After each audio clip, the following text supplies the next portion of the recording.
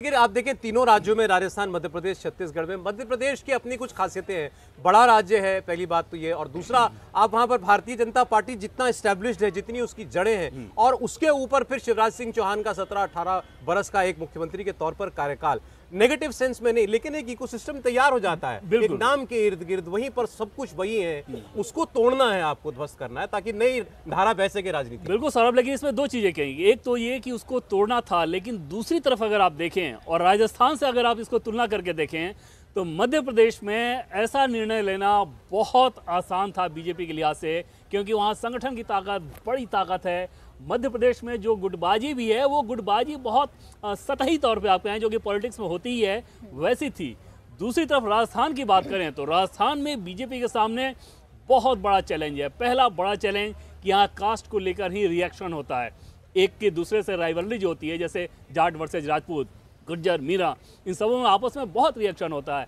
दूसरी तरफ़, वसुंधरा राजे सिंधिया का जो प्रभाव है, जिस तरह की चीज़ें वो कर सकती हैं या नहीं कर सकती हैं, मध्य प्रदेश में शिवराज सिंह चौहान वैसे नहीं है। शिवराज सिंह चौहान संगठन के साथ लेकर चलने वाले व्यक्ति हैं। वसुंधरा संगठन से हेड ऑन करने में ज़्यादा विश्वास करने वाली मानी जाती हैं। ऐसा कहा जाता है कि संगठन के साथ उनका छत्तीस का ही रिश्ता रहा है और कई सारी कहानी हम लोगों ने सुनी है।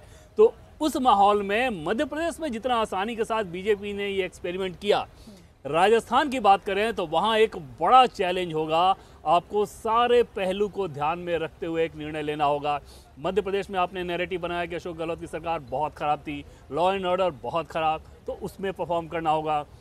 वसुंधरा राजे सिंधिया का संगठन हो या सरकार पे हो, वो जो प्रभाव है, उसको काउंटर करना होगा। जो अलग अलग नेता हैं, इनको संभालना होगा, क्योंकि वहाँ कई सारे बड़े नेता हैं और उन सबकी आपस में राइवलरी जो है, ज़्यादा तीखी है। मध्य प्रदेश की तुलना में तो बहुत ज़्यादा तीखी है।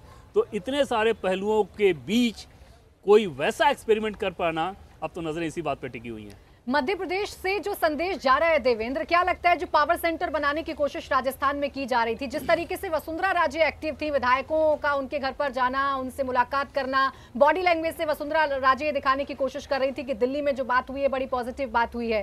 क्या उनके लिए कोई संदेश जाएगा मध्य प्रदेश से? बिल्कुल आज तो एकदम से उनको समझ में आ गई होगी ये बात कि ऐसी चीज़ों का कोई मतलब नहीं और शिवराज सिंह चौहान चाहते तो ये सारे काम कर मिली आप मुख्य सर सर चलिए कौन कौन है जी सर जी सर सर जी सर चलिए, सिंगल- सिंगल इनको कहेंगे सर नए ज़िम्मेदारी मिली है प्लीज़, कार्यकर्ता को- कार्यकर्ता को चुना है भारतीय जनता पार्टी ने क्या कुछ देखिए भारतीय जनता पार्टी का ये तंत्र ही ऐसा है कि छोटे से कार्यकर्ता को बड़ी से बड़ी जवाबदारी देती और हम सब की ट्रेनिंग भी ऐसी होती कि इस आधार पर पार्टी जो काम दे दे उसको बहुत सहजता के साथ लेते हैं।